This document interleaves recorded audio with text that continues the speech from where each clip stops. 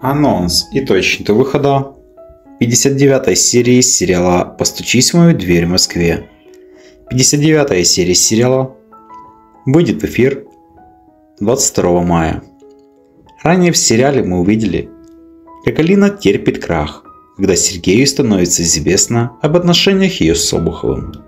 Алина вынуждена сознаться в правде и не показываясь на глазах Братского-младшего – Потому женщина идет к Филиппу и пытается получить от него утешение. Но Филипп прекрасно помнит, что она сделала в прошлом. Потому не прощает ничего. Вот только Алину ждет и удача. Получает сведения о том, кто виновен в обрушившемся здании. Затем женщина идет к Сергею и фактически выставляет ему свой ультиматум. Подруги Саши узнают о том, что сама Саша без второй половины и уже ищут нового кандидата. 59 серия сериала выйдет в эфир 22 мая.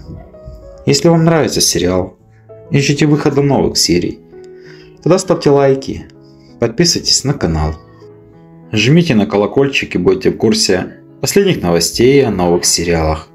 Спасибо за подписку и лайки.